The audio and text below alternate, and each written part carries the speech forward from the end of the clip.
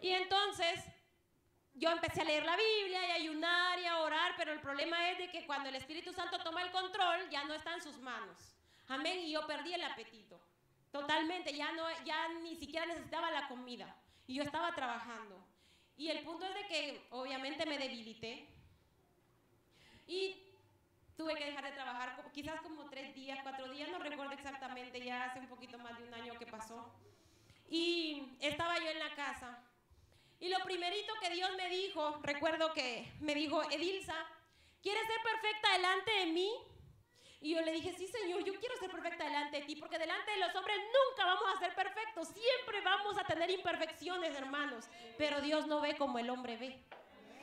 Y cuando yo le dije, sí, yo quiero ser perfecta delante de ti, lo que salió de su boca fue, vende todo lo que tienes, dáselo a los pobres y tendrás tesoros en el cielo, Padre Santo, dije yo. Y me quitó su presencia. Y si algo le tengo temor es a perder la presencia del Señor, porque yo siento que yo vivo solo por la presencia del Señor. Yo no, yo siento que para la vida que yo tengo no sería capaz de vivir sin su presencia. No, si el, solo en la presencia del Señor hay plenitud de gozo, hermanos. Y entonces empecé a meditar cómo sería mi vida sin mis cosas. No tenía muchas, ni tengo muchas. Pero empecé a pensar, Dios mío, ¿Cómo me voy a ver sin mis cosas, mis hijos, qué, qué van a tener? Pero me convencí de cómo me iba a ver y lo hice. Le llamé a mi madre y le dije, mami, hazme un favor, porque si yo las vendo me tardo mucho. Dije, yo las voy a regalar. Y le dije a mi mamá que me hiciera el favor de regalar las cosas y le dije a quién se las repartiera, hermanos. Y después de eso, claro, mi familia lo primero que pensó es que yo estaba loca. No tardó mucho para que llegara hermano Héctor, el pastor y hermana Vilma a mi casa. Amén, la gloria para Cristo. Y yo por una parte le di gracias a Dios porque déjeme decirle que ese proceso fue tan fuerte que, que venía un temor demasiado fuerte a mi vida. Un, un, temor que yo no entendía de dónde salía. Yo le decía al pastor, pastor, yo no he hecho nada malo. Todo lo que hice fue apartarme para el Señor, eso es todo. Yo no sé qué es esto. Pero ¿saben qué era, hermanos? Que ante la presencia del Señor tiembla la tierra, dice la Biblia. Era el proceso al que Dios me estaba metiendo.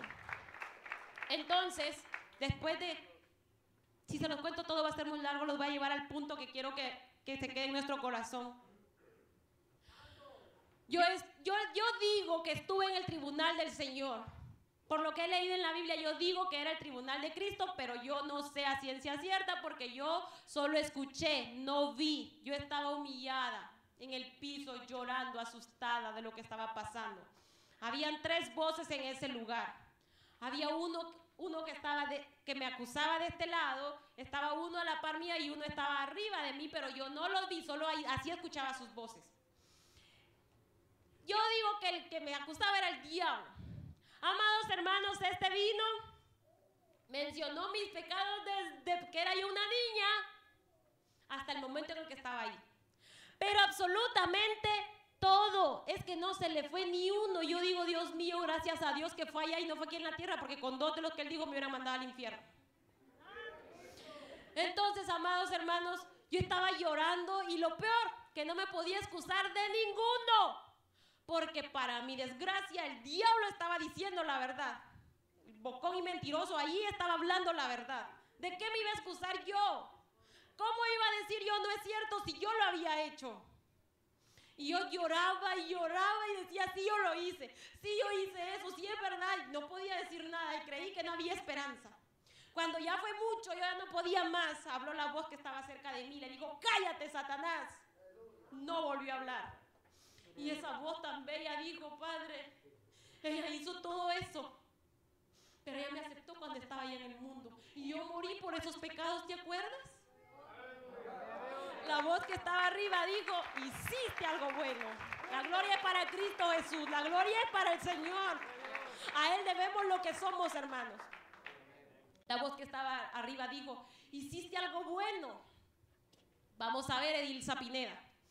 Y jaló un libro.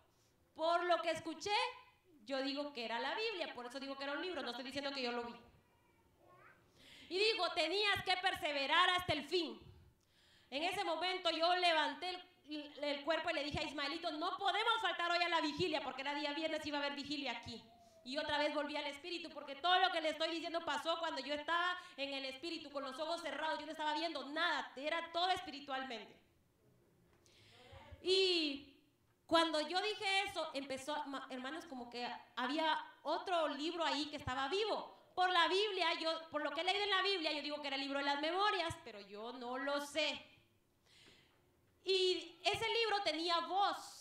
Y em, yo escuchaba mi voz cuando yo decía, hermanos, por favor, llévenme a la iglesia. Hermano, mire, páseme atrás, yo tengo que ir a la iglesia. Usted sabe que yo no tenía carro en todo ese tiempo. Yo vivía llamando para que me trajeran para la iglesia. Y todo eso estaba grabado ahí. Cuando yo les explicaba a los clientes, mire, disculpe, tengo que ir para la iglesia. Lo voy a atender mañana. Yo le pedía permiso a mi jefa y todo estaba grabado ahí. Y entonces después me dijo, tenías que visitar a los presos.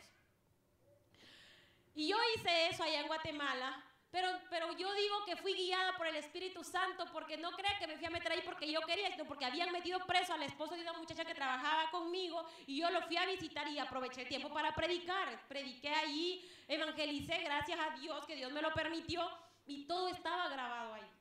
Tenías que visitar a los enfermos. ¿Y saben qué? También había ido a donar sangre a un hospital en Guatemala porque una señora necesitaba sangre y pidieron, pues yo dije, yo le doy y yo fui a ese lugar. Pero ya les digo, fue porque Dios lo hizo. Dios sabía su propósito. Pero todo estaba guardado ahí.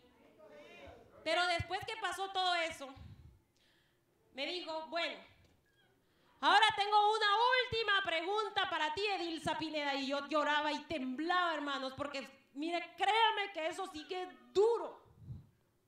Y me dijo, quiero saber qué tanto te pareces a Jesús. Señor bendito. Dios mío, yo en nada, en nada me parezco, Señor. Y le dije que yo era un, que yo era excremento de perro a la par del Señor. Yo soy una basura, Él es santo, limpio y puro, Señor, y yo soy nada delante de Él. ¿Y sabe qué me dijo la voz? Exacto, mi amor, en eso te pareces. Porque Él se hizo nada por amor a ti. Bienvenida al reino de los cielos y todo pasó bien rápido y ahí volví en sí. ¿Qué es lo que yo quiero? Que se quede en nuestro corazón, porque esa pregunta me da vueltas en la cabeza y en el corazón a mí todo el tiempo. Y es que tanto nos parecemos a Jesús. Acuérdese que la Biblia dice que otra vez vendrá Él y os tomará de Él mismo. Amén. Eso es lo que Dios espera de nosotros, que nos convirtamos verdaderamente a Cristo Jesús. Amén. Eso es lo que Dios espera de nosotros. La gloria es para Cristo, hermanos. La gloria es para el Señor. Amén. Yo le voy a decir esto. A Cristo Jesús lo podemos tener de dos maneras. Como juez o como abogado. Acuérdese que si usted tiene a Cristo Jesús como juez, usted no va a tener abogado. Acuérdese de eso. Un día vamos a estar ante el tribunal del Señor y eso es para que lo guarden nuestros hijos en su corazón también que ellos no son eternos al igual que nosotros. Y un día vamos a estar en la presencia del Señor, vamos a estar ahí y le vamos a dar cuentas absolutamente por todo lo que hayamos hecho. Incluso la Biblia dice que por cada palabra ociosa que los hombres digan, darán cuenta en aquel día. Amén.